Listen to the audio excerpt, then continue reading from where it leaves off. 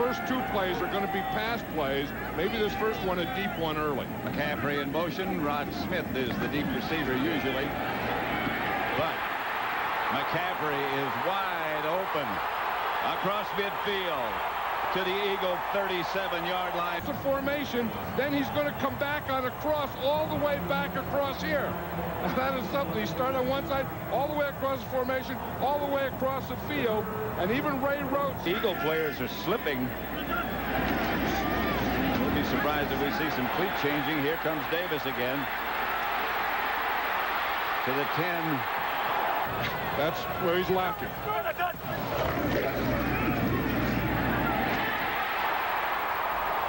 Sharpe, touchdown from Brister. A strike from Brister. I tell you, that ball doesn't stay in the air very long when Bubby Brister throws it. And that was Sterling Sharpe coming out here to the left. He was on Brian Dawkins, a free safety. Here's here, here we'll see Sterling Sharpe right here. Dawkins is number 20. He doesn't run a very good pattern. He just kind of runs a banana out. And Bubby Brister, whoop, he just throws it right in there. And the Broncos lead Philadelphia 21 to nothing in the first quarter.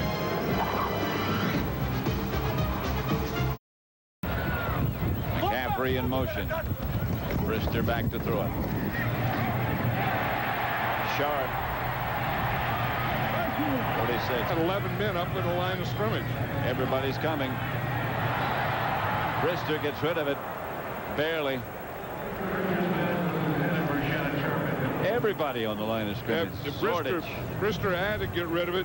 See, see, here's the whole group. They got 1, 2, 3, 4, 5, 6, 7, 8, 9, 10, 11. Or, or 10, I guess. But anyway, no, you missed one. There is 11. I yeah. missed a guy because here's Zordich. He's he's up there and he just comes free. He's a strong safety to take the Band-Aid off because he may not play as well. Brister back to throw. Incomplete. Intended for Sharpe.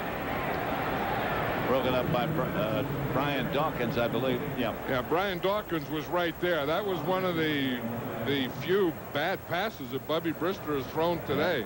Bubby Brister, Bubby, uh, Brian Dawkins was running underneath Shannon Sharpe. Davis.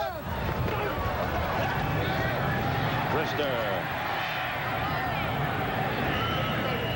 That's what we thought we were going to see more of today as a bootleg. In fact, that was the play, remember, against the Dallas Cowboys that John Elway was injured on a bootleg, so they kind of took the bootleg out for him, but they did put the bootleg in, and and you and you see Bobby Brister make a fake here, then he's going to bootleg out to the left here. He's looking for the crossing guy up there, and then he waited just a little too long. Here comes Mike Shanahan over to say hello, at least to Ray Rhodes. They worked together in San Francisco. 41 to 16. Denver victorious. That's a final. A long afternoon for the Eagles at Mile High.